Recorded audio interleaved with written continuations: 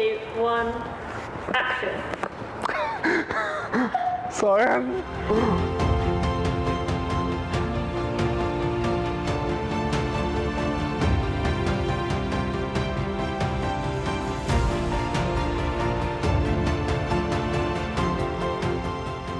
I think Calvert Trust Exmoor makes an impact by allowing people um, the access to activities that they just wouldn't get to do in their ordinary life.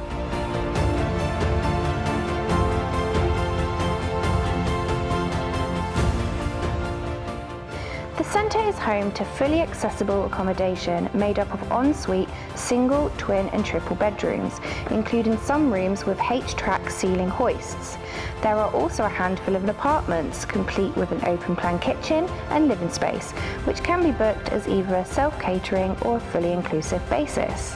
If I could describe the Calvert Trust Exmoor in three words, they would be fun, varied and welcoming.